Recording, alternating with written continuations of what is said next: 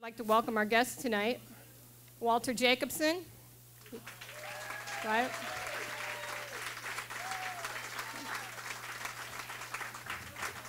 A well-known anchor, commentator, reporter. Mr. Jacobson has won numerous awards for his hard-hitting news reports and hard-hitting and objective news reports. And the um, main event, Karen Lewis.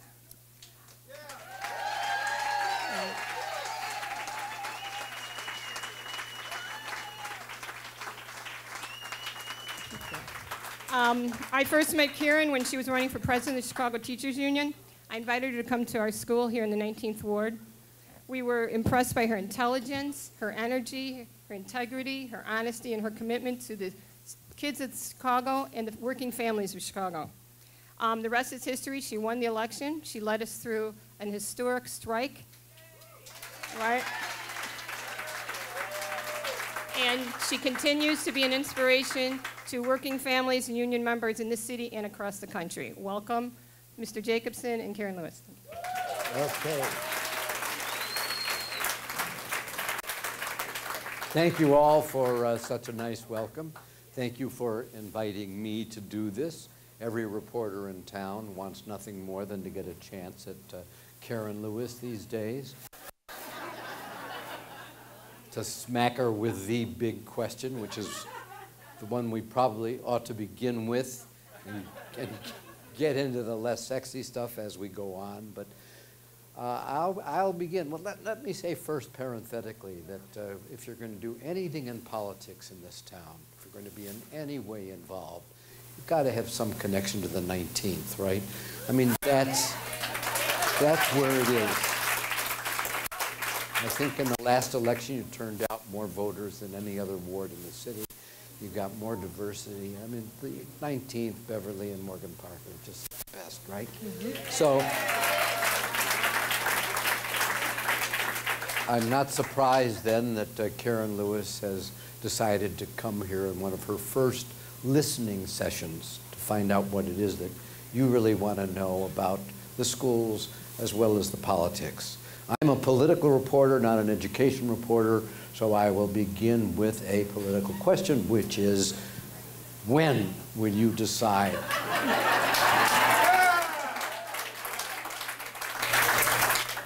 Um, so this is my third listening tour. I've been in Logan Square, I've been in North Lawndale, and I want to say full disclosure, when I moved back to Chicago in 19 83, I lived in the 19th ward. So people, a lot of people don't know that, that I, um, my father lived on 95th and Seeley, and I lived with him and my sister. My sister still lives there, so um, my sister-in-law is also a 19th ward resident, so I have ties to the 19th ward. So people should know that first. Uh, that's all very good, but you didn't answer the question getting to that. Um, and can I just say special thanks to the members of the 19th Ward Committee that actually put this together. I am so proud.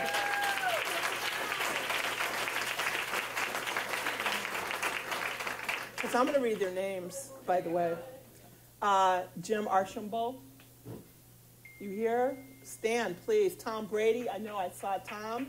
We go way back. Bob Cahill, Sharon Callahan, Michelle Carberry, Mike Doyle, Maura Hall, Sarah Loftus, we go way back, Regina O'Connor, Ann O'Shea, but we call her Reggie, you know, so Lisa Patara McGrain, Don Ruff, and Brian Sullivan and I go way back. So I'd like, first of all, thank you and talk about this is how we do things. It comes from the membership up. It bubbles up from the rank and file. This is what we've been talking about. So when will I decide? I will decide when I have certain things in place. Okay? And those things are primarily the three things you need to run a campaign. You de- you've got to have money, you've got to have people, and you've got to have time. So I want to run things on my timeline Um, quite frankly, we're focused on the 14 elections right now. I mean, you know, things come in stages. And I think people want to hear immediately, but I will tell you the big news of the day is I did file my D1 in order for us to comply with campaign finance laws in Illinois because people are sending me money. The strategy is in waiting. I mean, you've got to have 12,500 signatures on petitions mm-hmm. and file them mm-hmm. the end of November. Mm-hmm. And here, coming the end of the, end of August is when you'll have to begin to Well, see. Well, we're going to actually circulate petitions. It's important. I need to see whether we can get petitions circulated, whether people really want this campaign or not.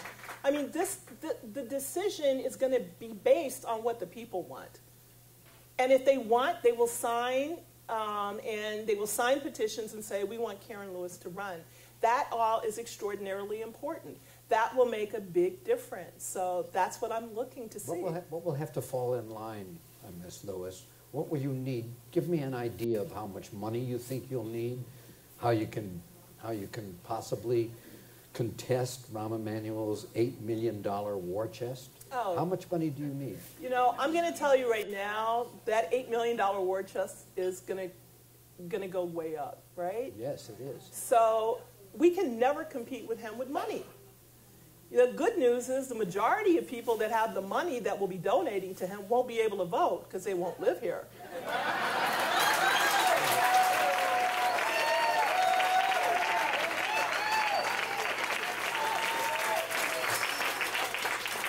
That- But that's insignificant mm-hmm. if you compare it to what he can do with his money, that Right. you will need some money to combat. Yeah. You mean, he'll, he'll be on every television station, Yeah. 15 hours a day, and telling saying everybody what? how And big- telling lies and trying. He's got to run on his record. The people of Chicago know who he is. I mean, and they've spoken about that. And he hasn't been able to move his numbers for a very long time, no matter what stunt he's pulling this week or next week. People realize that what he is doing is, is just to get ready for the election. I don't think anybody is buying his shtick, quite frankly. I mean, I'm not seeing that. I mean, it's kind of annoying in a way to go places and hear people complain about this guy. You know, it, it's it's absolutely and, I- and again, I'm going to tell people I actually have some empathy for him. Um, and people don't realize that. People always say that we hate each other. I don't hate him. Um, I don't. But You think he hates you? Oh, probably. yes, probably, because that's his shtick. Um, but what I do know is that your record of closing mental health clinics almost immediately, uh, closing down police stations almost immediately, um, and disbanding the gang tact, you know, the gang units. If you look at the graffiti, just at the graffiti, these are quality of life issues. The amount of graffiti in this city, and I don't care where you go, has just skyrocketed. Because now we only have one paint unit. We used to have eight, I believe. So we cut those out. He just announced yesterday that he's going to cut the time back in removing graffiti from an average of, uh, I think, six days to Sound guy. That's not Walter. That's sound. Yeah. Your mic went out. We were talking about how much he may hate you and why, and we're talking about how he can use the fortune that he's going to gather to, to put pictures on billboards and on television. And, you know, if he gets more nervous about your possible candidacy, then he will get into more negative campaigning, mm-hmm. which means that you will be portrayed in a very negative way, which will be hard for you to combat. Well, Not that it, the facts really don't don't have a lot to do with it. yes, but I think the people of Chicago are not stupid. See, I'm not like Rahm Emanuel. Rahm Emanuel thinks Chicagoans aren't very bright. he's very clear that he can just bamboozle everyone into thinking that what he's doing is really good for them. You know, he can come out like, I made tough choices. I've done this. I've done that. Yeah, you no. So, so I expect the worst. Why would he change now? Would You you know? concede that he has done some good for the city?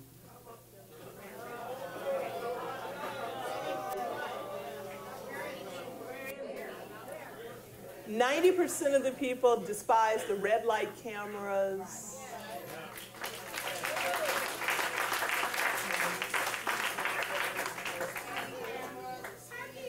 I, you what, Walter? I have not done that kind of research, as a matter of fact, and I, I just nothing comes to mind, and that ought to say something. That nothing immediately comes to mind. You know, I talk to people on the street. I speak to rank and file cops and firefighters who tell me all kinds of things. And, and what I hear, and even among our own members, what we have is a demoralized city workforce that doesn't feel appreciated.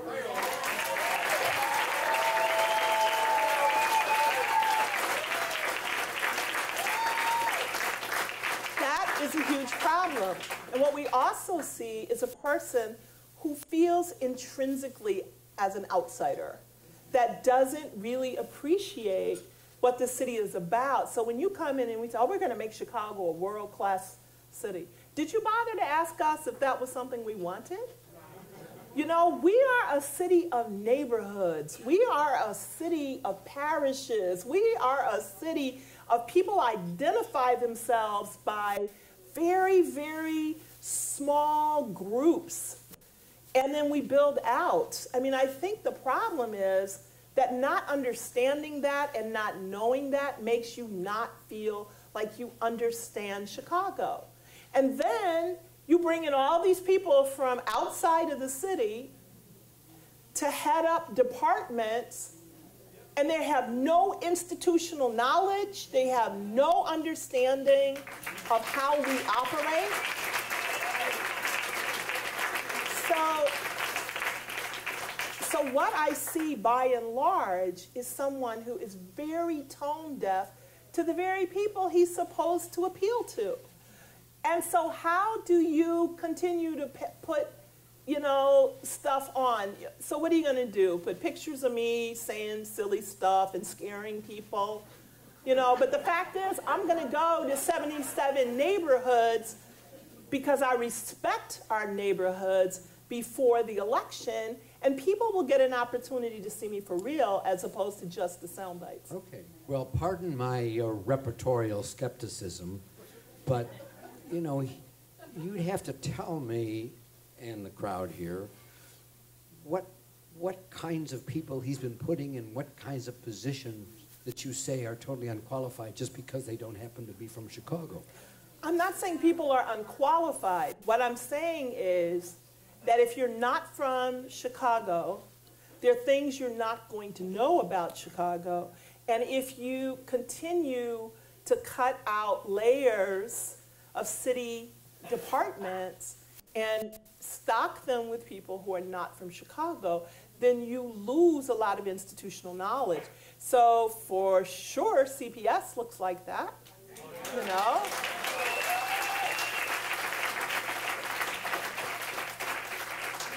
How do you tell lifelong teachers that they can't be principals, they can't be district supervisors, is what they used to call them. You, could, you know how old I, how long ago I started teaching. Um, but now, what do they call them? Network chiefs. They changed the name, you know, EIEIOs, cows. I mean, and they hire consultants to tell them how to change the names of something, right? So they can't be district superintendents, they can't be, you know, you can't move up the ladder anymore because you're going to bring somebody in. He's brought two people from out of town um, to, to be the CEO. So I think that's problematic. Um, the superintendent of police is not from Chicago. If you, if you ran for mayor and won, would you keep uh, Barbara Byrd-Bennett as the CEO of public schools?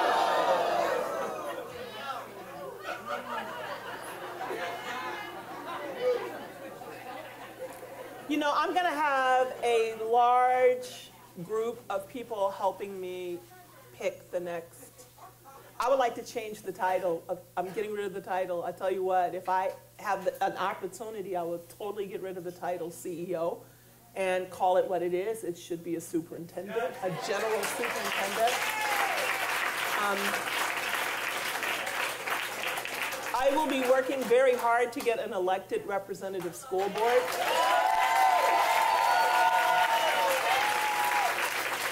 I sure And- remember the days when we did have an elected school board, and it was, and became increasingly as it was sitting, political, until the media and the government decided enough politics in the school board, let's not make it elected anymore. Yeah, but we didn't have a completely elected school board, ever. There's never been one.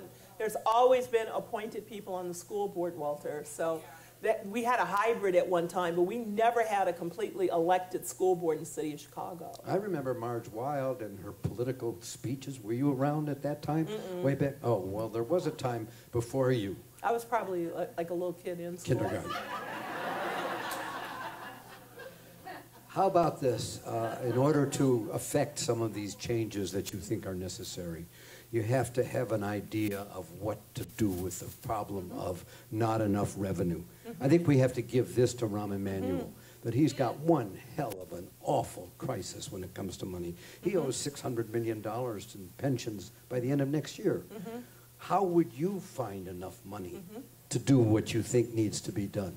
Well, I think we need to be very creative about revenue.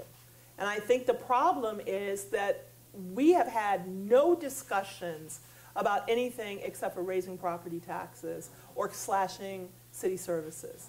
That has been the discussion, plain and simple. We have actually said we ought to look at a financial transaction tax. We ought to look at uh, possibly even a commuter tax.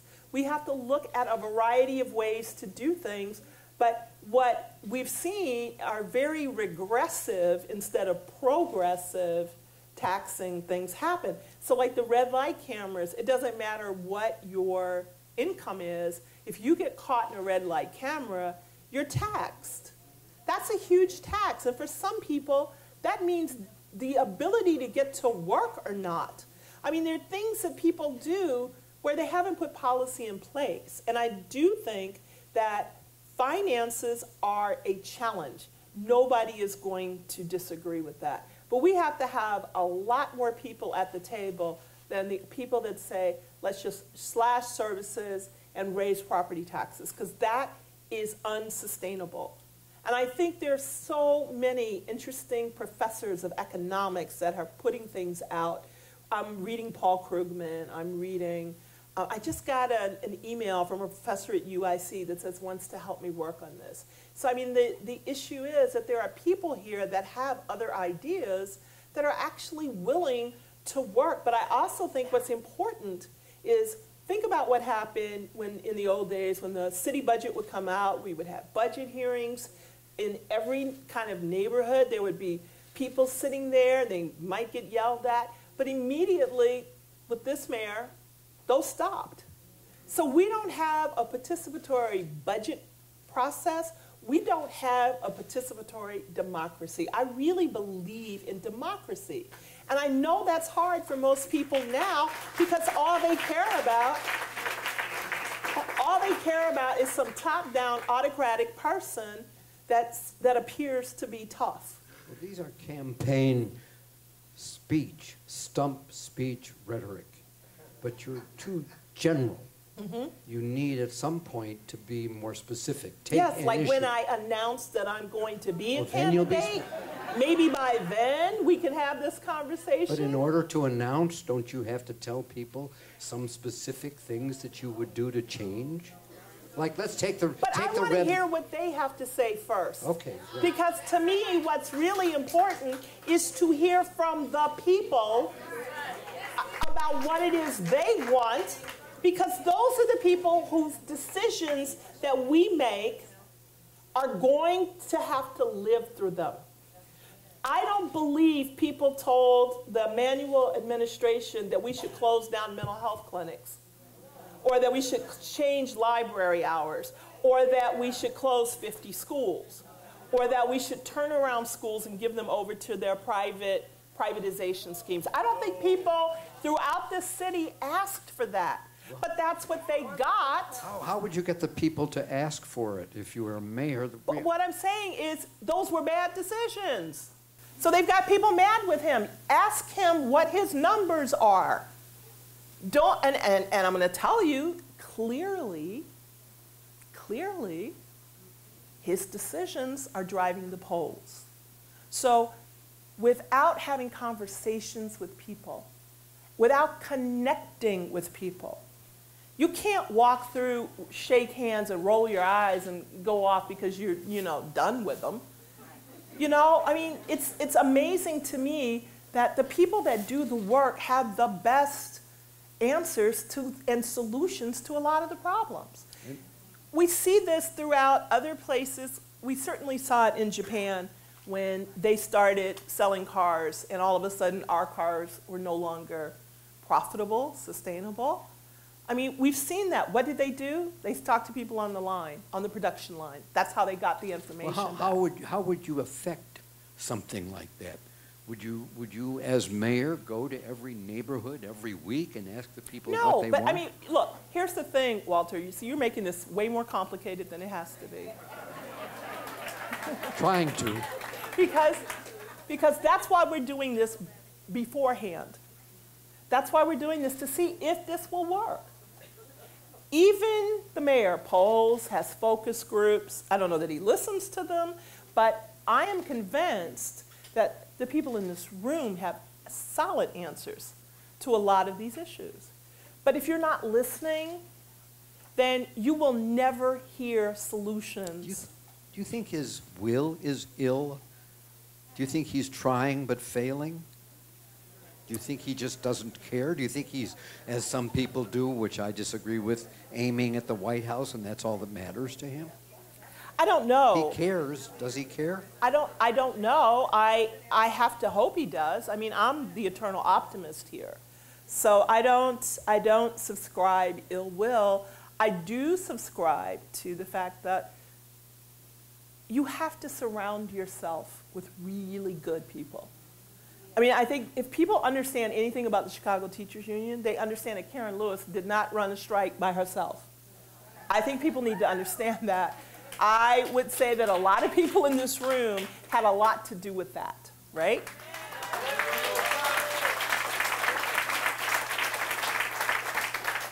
So the successes that we've been able to have have been based on the fact that we have a very large base. We have spent time talking to our members, listening to our members, taking what they have asked for and putting it together. I don't know why this is rocket science. So, what I don't understand is this notion of command and control.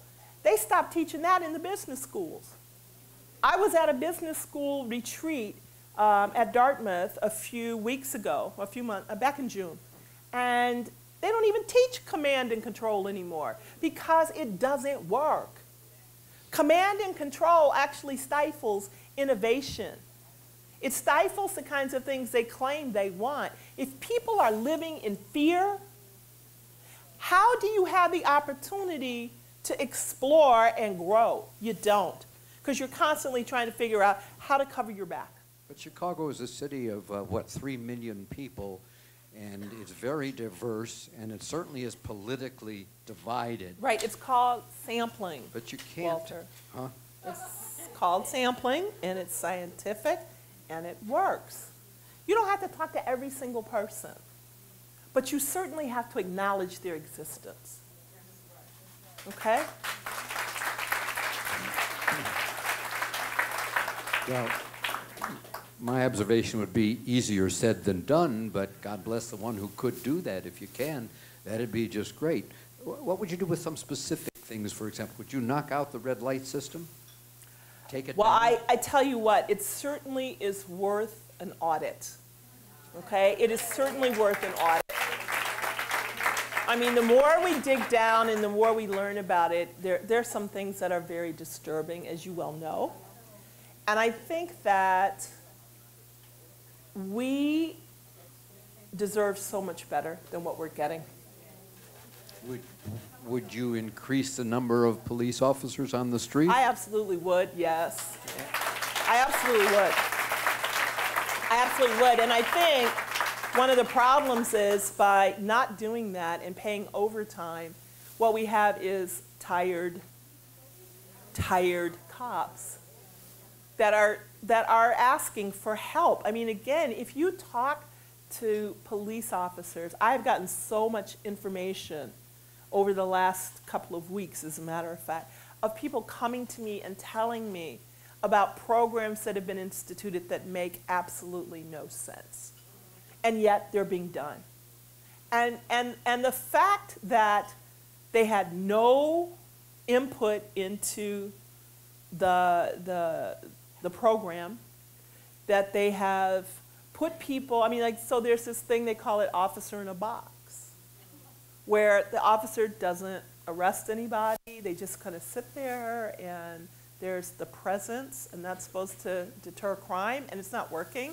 Because after a while, oh, I can do this and nobody's going to do anything. But if you're going to, if you're going to deal with the size of the police force, if you mm-hmm. need another three or four hundred more police on the street, mm-hmm. where would you get the money to do that? Okay, so you, you again look at what overtime, when you start calculating overtime, you can actually buy more bodies. People don't understand that. I mean, it's like, it's math. It's math. But I will tell you what a police officer told me. A camera never came down off of a pole and arrested anybody. Which I thought was kind of funny, but you know. But, but I think that there's a way to do things gradually so you get to where you need to be. You know, I'm not going to tell you I'm going to come in and then tomorrow there are going to be 2,000 more police on the street. You know, that's clearly not doable. But there has to be a much more sustainable way to get what we want and to increase the morale. You know, but you have to have conversations with cops to actually find out what it is that will make them feel better. I mean, I've heard stories where cops have said, you know, at one point I was part of this team. We did a lot of stuff. We had intel. You know, that whole that whole 4th of July weekend when we had 84 shootings, was it?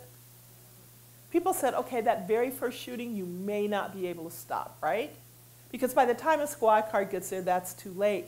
But those second and third retaliatory shootings, you can prevent because we have cops that have relationships with people in the neighborhood. So even if they can't stop Joe, they know Joe's mom, and they can talk to Joe's mom and say, please tell Joe not to come out here tonight. There's, there's a way to do that if you're building relationships. What these people want to do is sell us technology as if that's going to solve our problems and just say, well, we don't need human beings. That is a real problem.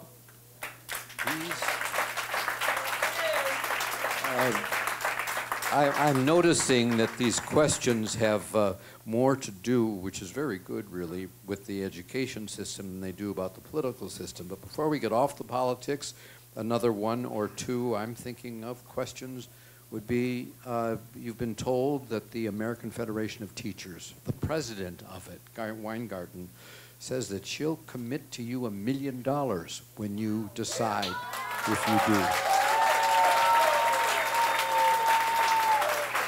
Do you, what do you think about that? Well, she actually told me this at the convention. Um, she told me this with the newly seated um, executive council, of which I'm a member. Um, and um, it was very moving moment for me because it automatically changes the calculus. So um, it is extremely important to know that that money is available. Um, and I hope to raise quite a few more, but because a million dollars, while it's lovely, nobody's going to turn it down, isn't going to be enough, clearly. To, Tell me what will be enough.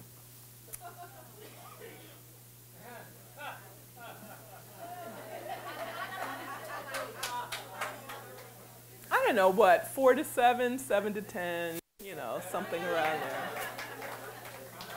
What, what would dissuade you the most for taking on this task?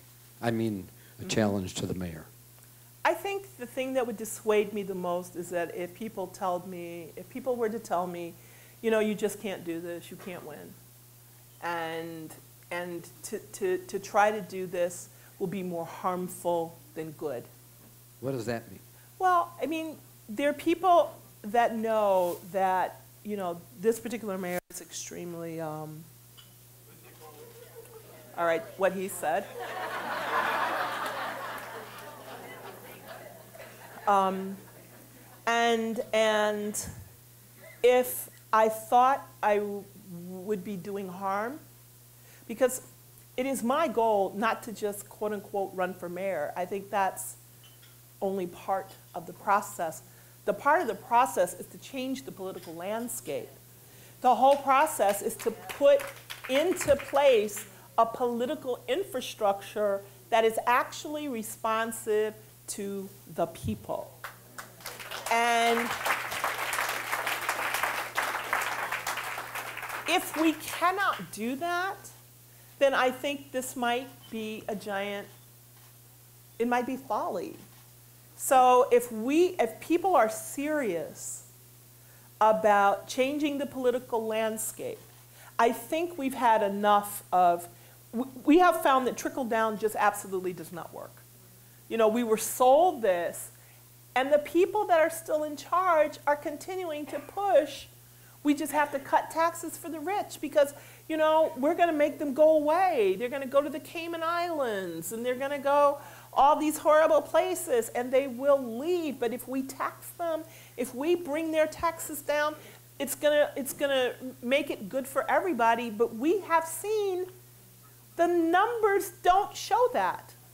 Wages in this country have been stagnant since the 1970s. They have been stagnant. But the amount of wealth that has been drained from the bottom and pushed forward up to the top 0.0%, 0.1%, those people are doing fabulously well.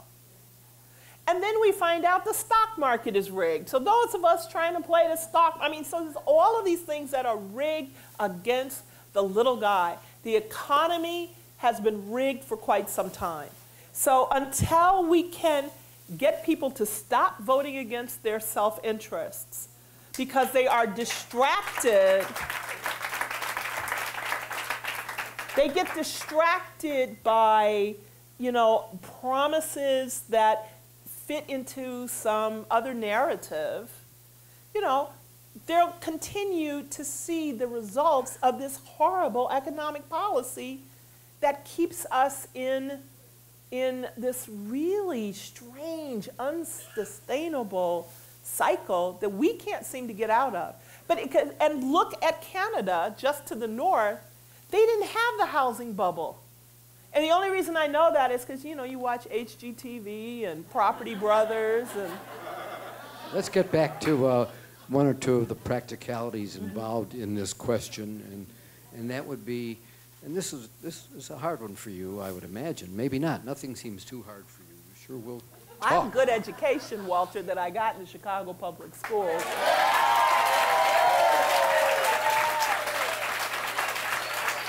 Early on,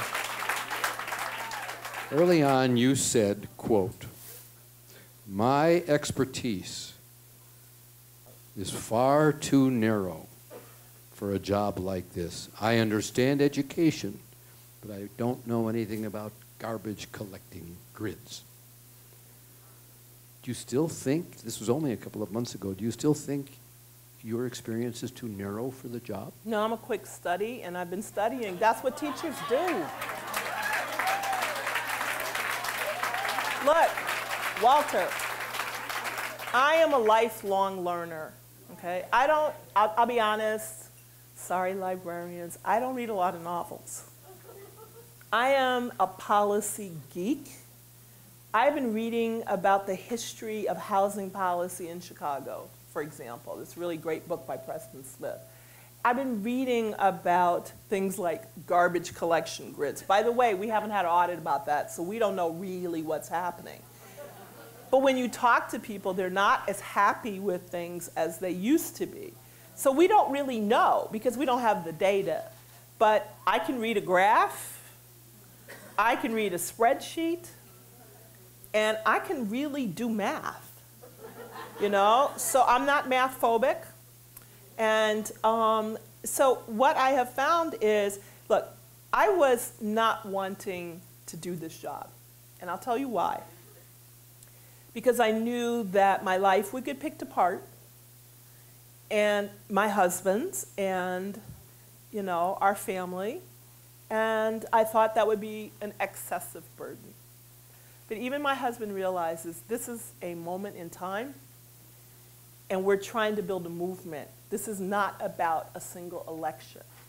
This is not about just 2014 or 2015 or 2016 or 2018 or 2019. It's about building the foundation of a movement. So, you know, I'm, I'm from the 60s. I grew up in the 60s. Um, this is not, this was not history class for me, so I remember that process. You know, I, I saw it on TV, and my, my family talked about this. this. These were dinner, dinner table conversations. So, um, Is he more willing to accept you Oh, as yeah. a candidate than he was sometime back? Yeah, 'cause he had said What's no. changed him? huh? he had said no. Because my husband understands history. History. He does. He understands history. And my husband said to me, I will never stand in your way. That's not the kind of man I am. He's here. Where is my husband? Because he is a wonderful, wonderful human being. And tomorrow's his birthday, and Thursday is our anniversary. Okay, I, I'm sorry for monopolizing. Let, let's take a couple of these Can't questions. help yourself. You ready? Walter. From the audience. Okay. Wait a minute. How were you able to transform the CTU in such a short period of time? Wow. Well, because it wasn't just me. Again, I surround myself with brilliant people. Um, I think people don't understand how well educated the teachers are in the city of Chicago. We have been so maligned for so long, um, and, and it's annoying.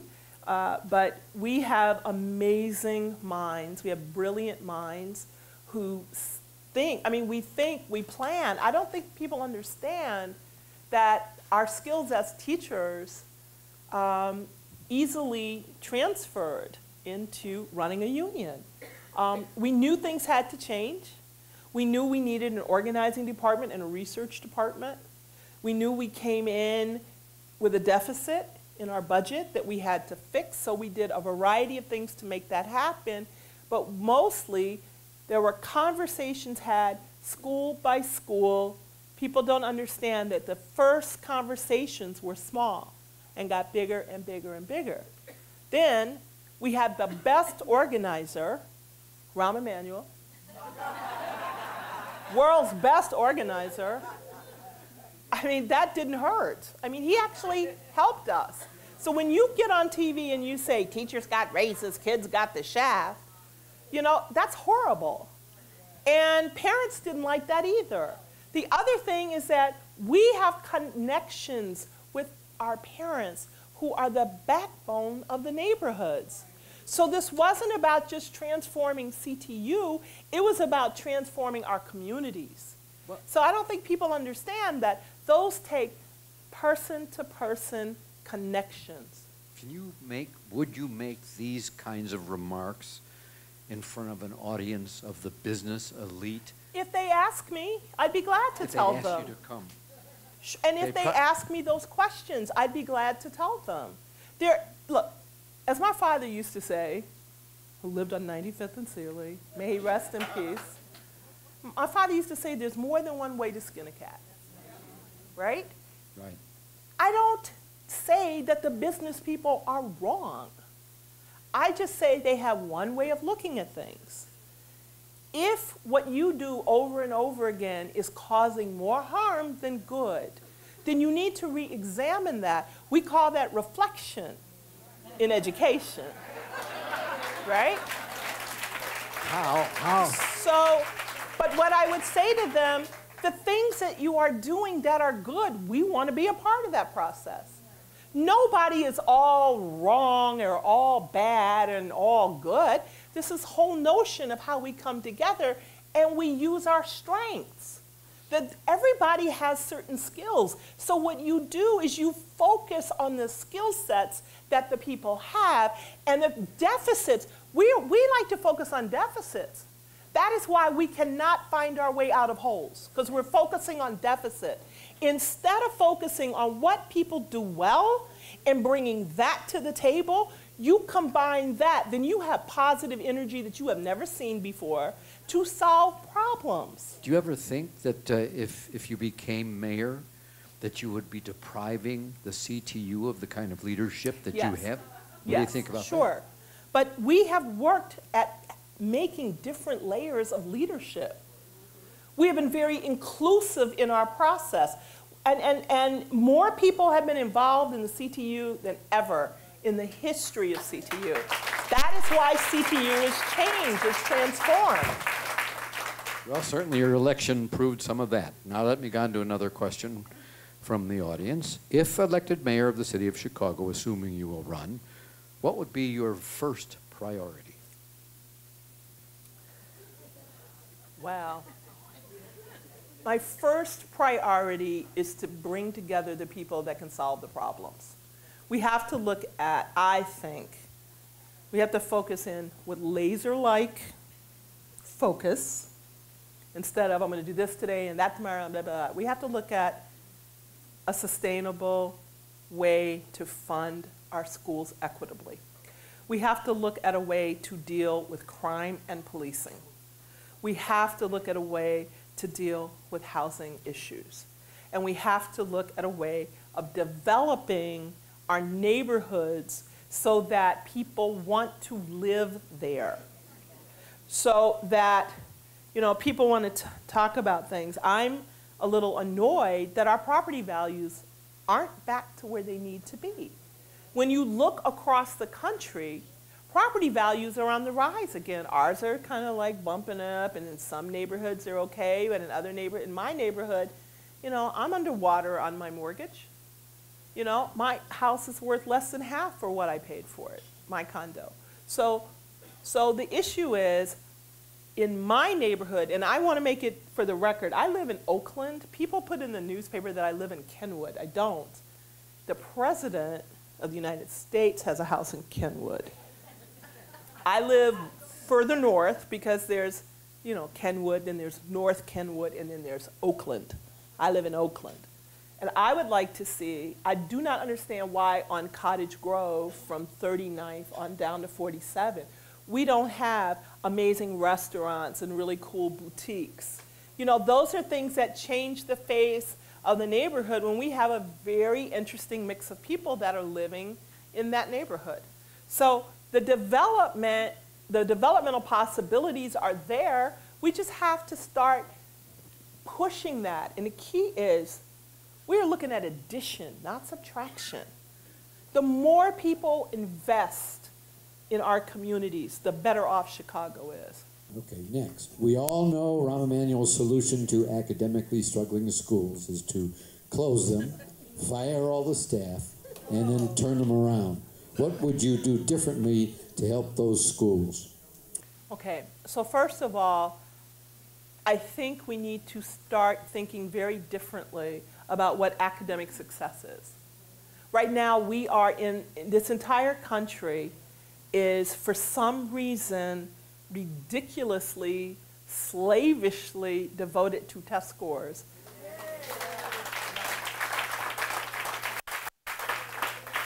And what we have to start looking at, and this, I mean, the research is there. The Chicago Consortium on School Research has shown that schools do so much better when all of these other things are in place. when the faculty feel empowered and feel part of the decision-making process, when parents and community are engaged in the schools.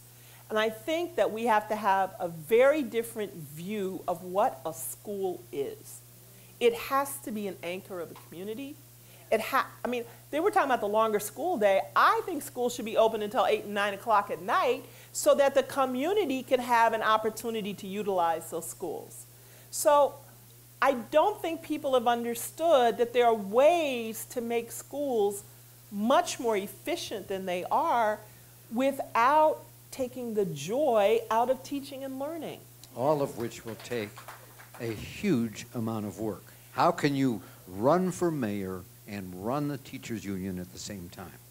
Well, you know, first of all, um, again, you know, you all think that I'm like wave a magic wand and everything gets done, right? And that I do every single thing by myself at the teachers union.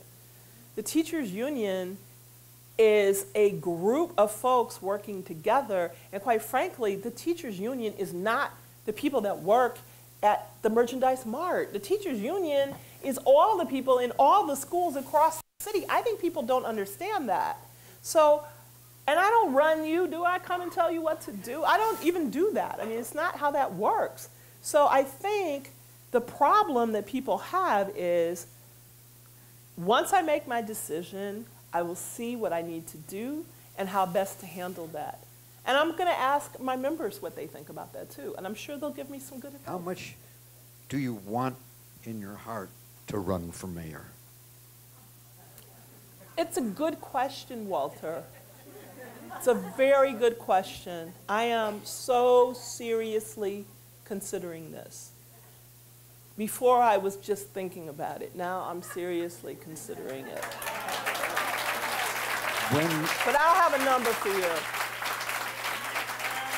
when, when was that development, that transition?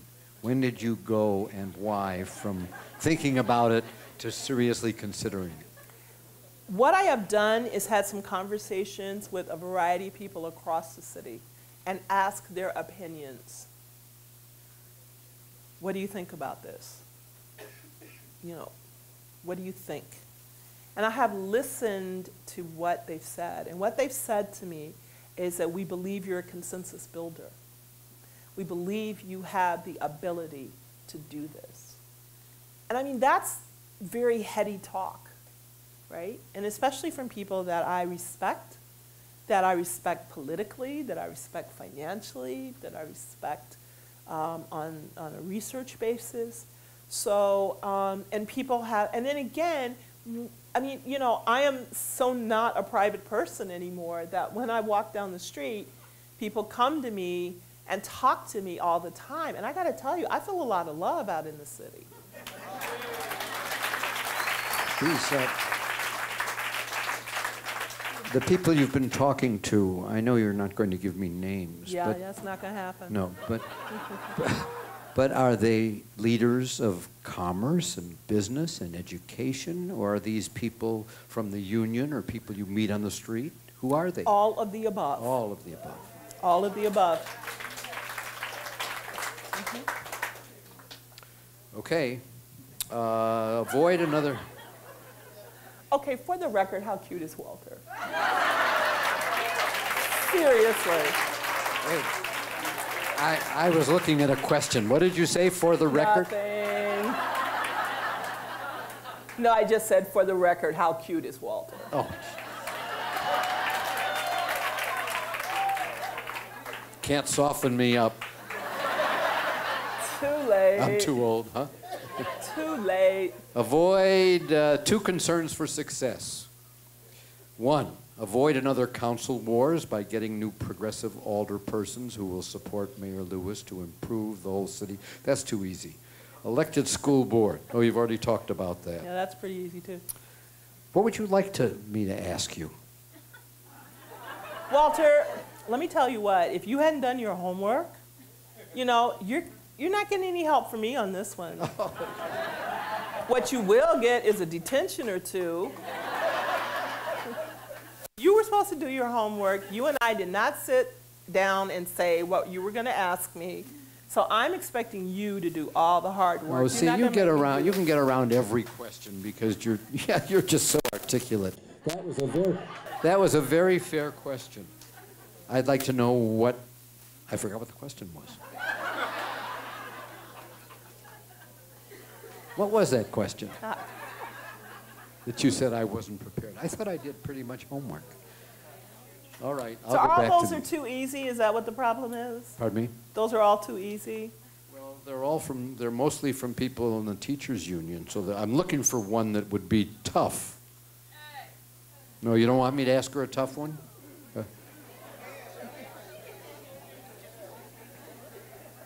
Oh, my. How can you better support Chicago's public servants and resist privatization and maintain. I think that's extremely important. First of all, our experience with privatization has been that our services have decreased, but we're paying more for them.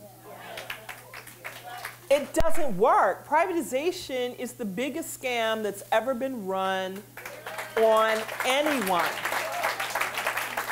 So actually, it ends up being cheaper to support public services because those dollars get turned around in our city.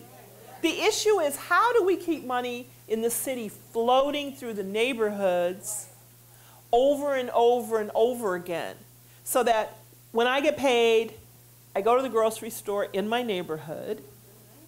You know, I can even shop in my neighborhood if I choose to for clothes and shoes and I don't have to go to big box stores. I don't have to do this. So then those people turn that money over and over and over again. The issue is that your city services get better. I mean, can I just complain about the potholes for a minute? I don't ever recall the potholes being as bad as they are now. I don't ever recall the roads being as horrible as they are now. So what would you do And, about? and, what I, and there's a reason for that because the streets and San folks don't live in the city anymore, right? What's happened is the people that are coming in and filling those, those holes are suburban outfits. They've been, they've been, they are not regular streets and San workers. Streets and San workers that live on the block know when the potholes are. They would take care of that immediately. There was a time where they would even come to your house and ask you what's going on. Uh, Is everything cool? They would talk to. So again, the fact that we have lost people that are committed to living in this city, making this city work, uh, under the guise of we can't afford them. The issue is that we are taking those funds and giving them somewhere else, but we are getting less of the service than we used to have. And what does the leadership of the city, the government, have to do with changing those things? I mean, these are Well, first wonderful all, you- ideas. but, but first of all, you have to have the metrics, right? These people talk about data. You have to have the data so you can look and say, you know what? We're spending money over here. These guys are not doing a good job. We're going to bring it back in the city. We can move money around. Budget. Money is fungible.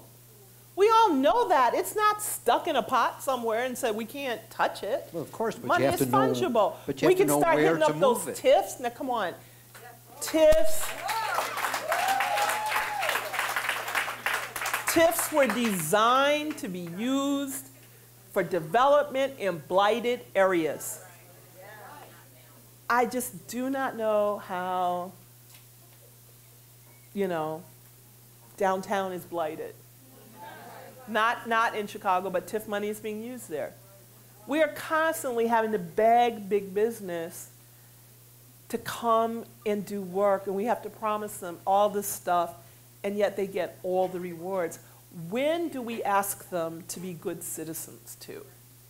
We all have to be good citizens. We all have to do our share. So it is important for us to hold everybody accountable, not just the little guy, that hold everybody accountable. This is doable, again, by building relationships and saying, look, this will work. And you will not lose. Once again, this is about addition, not subtraction.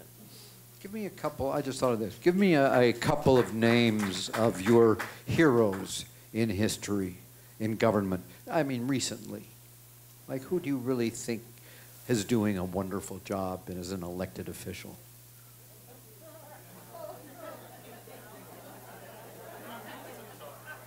You know, Walter, that is so unfair because Unfair? First of all, I, I mean, you said the word hero, and I don't, I don't use that word lightly. Right. I think there are people that are competent, and I think there are people that are doing the best they can with what they have. But I think that our society has changed in such a way, and money is such a part of politics now, that it is very difficult for people who I believe have good hearts and good natures to be able to really put forth the kinds of legislation that will actually help most everyday people. Okay? And I think that's a problem. But I don't have political heroes. Um, my heroes come from the movement. Um, and, and quite frankly, my biggest heroes are some of my former teachers who who pushed me, who pushed me to be so much better. I mean, my, um, I got to tell you, can I tell you about my favorite teacher? All right, she's 93 years old and still drives. Scary though. And, and she lives in South Dakota. She was my um, algebra trig and college algebra and analytic geometry teacher. I had her for two classes.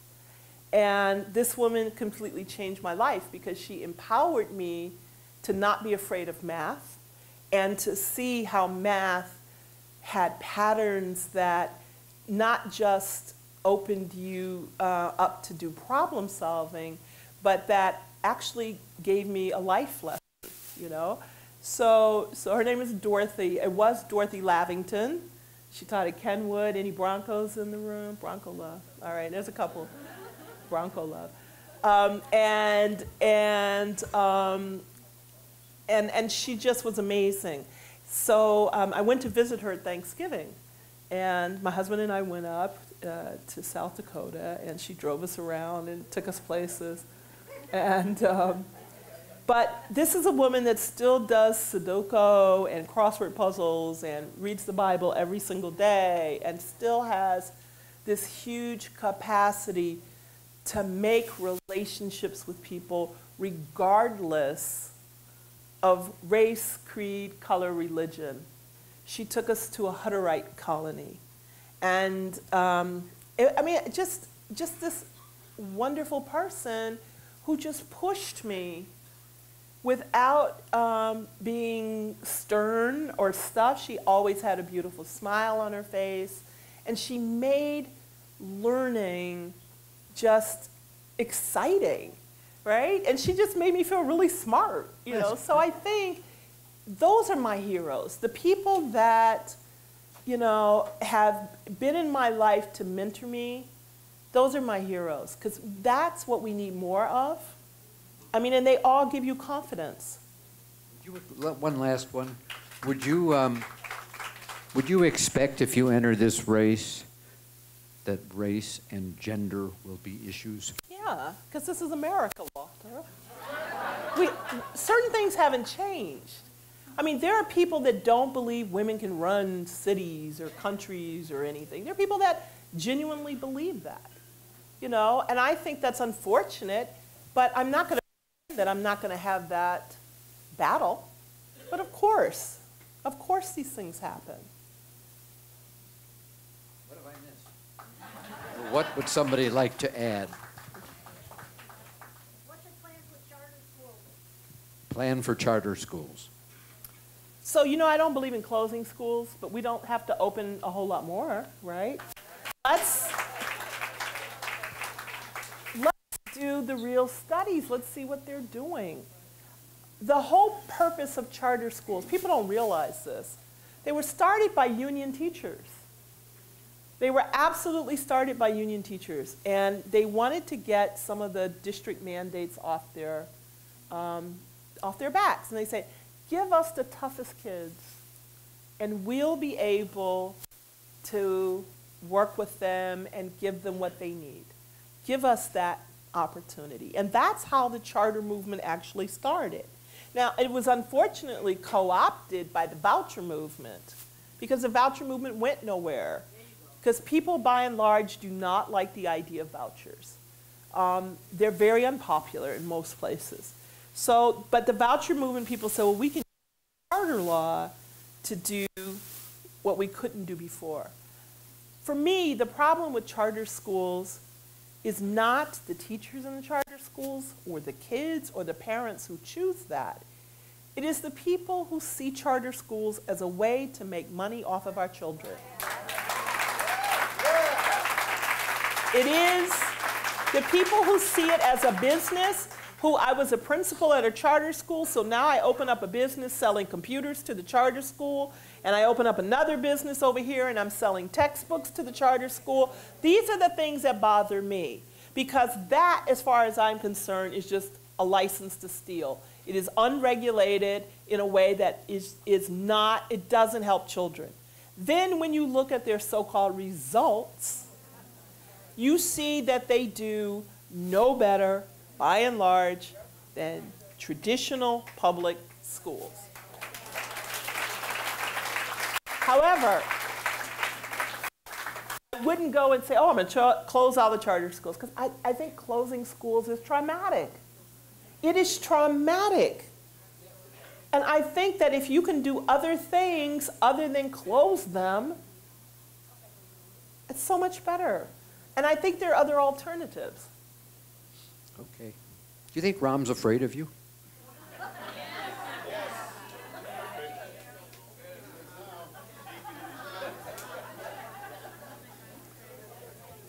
I, I, I, I, I think Rahm just wants his life to be easy.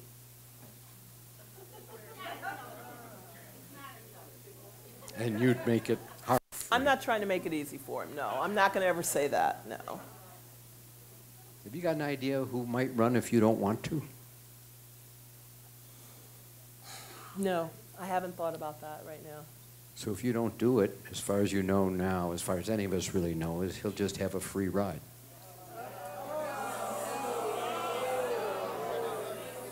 It could happen. It could happen. Have you had any discussions like that? Well, I think that would be really bad for the city of Chicago. So, um, you know, I think that would be unfortunate. Okay. That's a,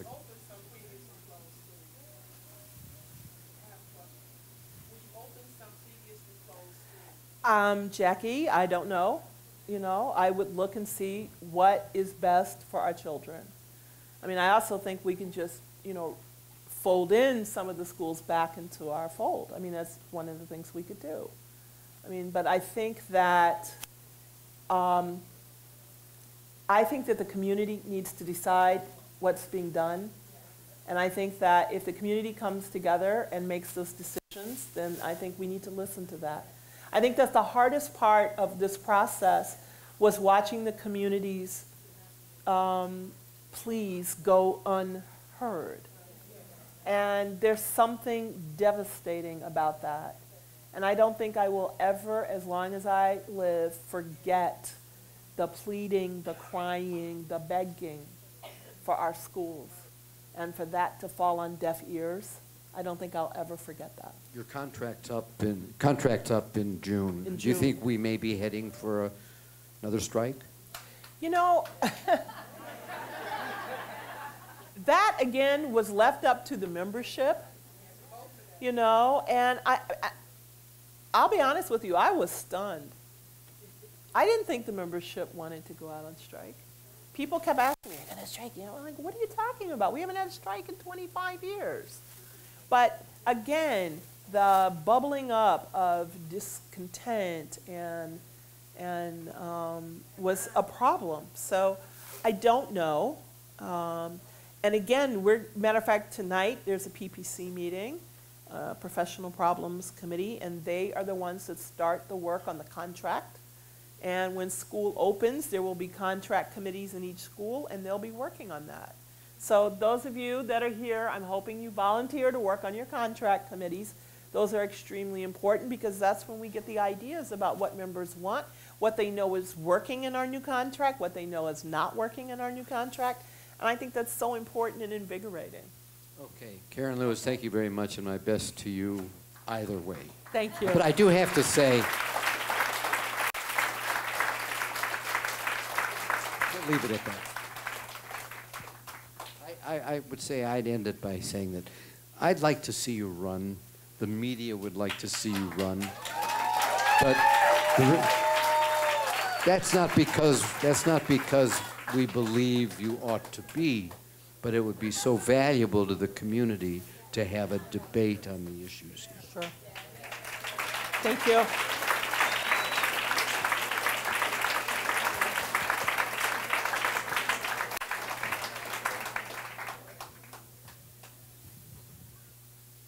What a conversation.